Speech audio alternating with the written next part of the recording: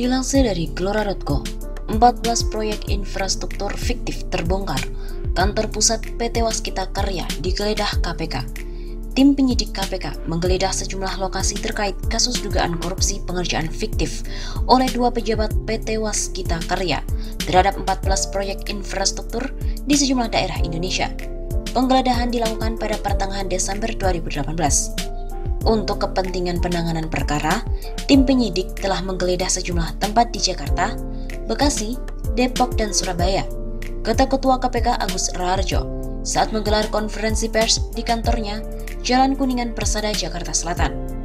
Agus membeberkan sejumlah lokasi yang digeledah terkait penyidikan perkara ini. Sejumlah lokasi tersebut yakni kantor pusat PT Waskita Karya di Jalan MT Haryono, Kafling 10, Cawang, Jakarta Timur, dan kantor Divisi 3 PT Waskita Karya di Surabaya, Jawa Timur.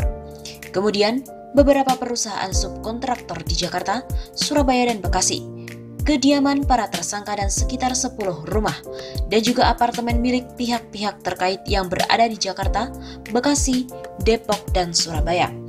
Dalam perkara ini, KPK telah menetapkan Kepala Divisi 2 PT Waskita Karya periode 2011-2013, Fatur Rahman, dan Kepala Bagian Keuangan dan Risiko Divisi 2 PT Waskita Karya periode 2010-2014 Yuli Aryandi Siregar sebagai tersangka korupsi. Kedua pejabat Waskita Karya tersebut diduga telah memperkaya diri sendiri, orang lain ataupun korporasi terkait proyek fiktif pada BUMN.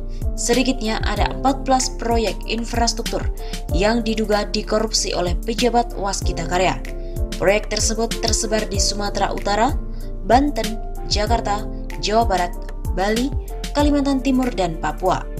Fator dan Yuli diduga telah menunjuk empat perusahaan subkontraktor untuk mengerjakan pekerjaan fiktif pada sejumlah proyek konstruksi yang dikerjakan Waskita Karya.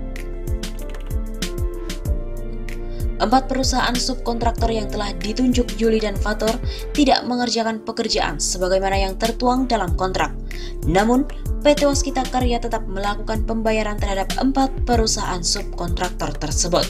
Selanjutnya, perusahaan-perusahaan subkontraktor tersebut menyerahkan kembali uang pembayaran dari PT Waskita Karya kepada sejumlah pihak, termasuk yang kemudian diduga digunakan untuk kepentingan pribadi Fatur dan Ariandi.